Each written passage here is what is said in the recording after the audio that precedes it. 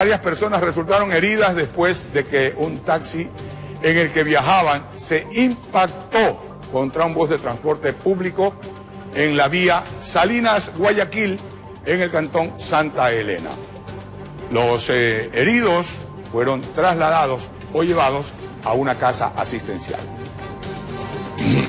Un aparatoso accidente de tránsito se registró este día miércoles en la vía Salinas Guayaquil, a la altura del desvío a la comuna San Vicente en el cantón Santa Elena, cuando un taxi perteneciente a la cooperativa Sirena del Mar se impactó contra un bus de transportación pública. Un choque frontal excéntrico entre este taxi, dos vehículos de alquiler, este taxi y la buseta que presta este servicio aquí por este sector.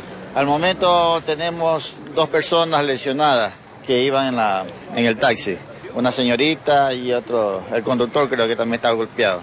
Testigos manifestaron que el exceso de velocidad habría sido la causa de este incidente. Ahí pasa la buceta y mientras el taxi no venía a velocidad, de ahí lo cogió en la punta, le cogió la buceta y qué pasó. El conductor del bus intentó fugar del lugar, pero fue detenido por personal de la Comisión de Tránsito del Ecuador. El chofer de, la buseta ese quiso, quiso irse, pero lo cogieron los vigilantes. Varias personas que viajaban en el automóvil resultaron heridas. La unidad de rescate llegó al lugar y trasladó a los lesionados hasta una casa de salud se lo llevó la ambulancia y una vez que estén allá en el hospital nosotros vamos a verificar el estado en sí de salud de ellos. Los vehículos fueron llevados hasta los patios de la Comisión de Tránsito en el Cantón para las investigaciones de ley.